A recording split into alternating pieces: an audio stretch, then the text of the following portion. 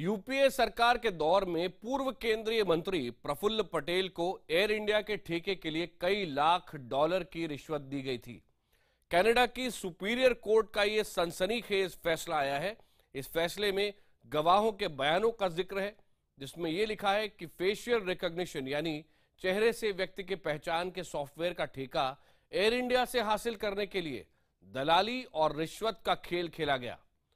Court ने फैसले में गवाहों के बयान का ज़िक्र किया है, साफ़ लिखा है, Cryptometrics Canada Limited of Ottawa नाम की कंपनी ने भारत के तत्कालीन उड्डयन मंत्री पीएफ यानी प्रफुल्ल पटेल को और कई बड़े अफसरों को साढ़े चार लाख डॉलर, यानी तकरीबन तीन करोड़ रुपए की रिश्वत दी।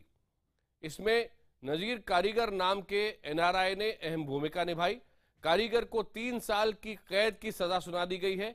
हालाँकि प्रफुल्ल पटेल ने आईबीएन सेवन से खास बातचीत में आरोपों को बेबुनियाद बताया है। साथ ही उन्होंने कहा है कि वो 2012 में ही तत्कालीन प्रधानमंत्री को इस विषय में जानकारी दे चुके थे। लेकिन ये मामला लगता है यहाँ खत्म होने वाला नहीं है।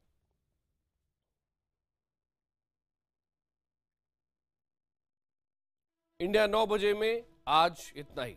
ब्रेक के बाद स्पेशल रिपोर्ट।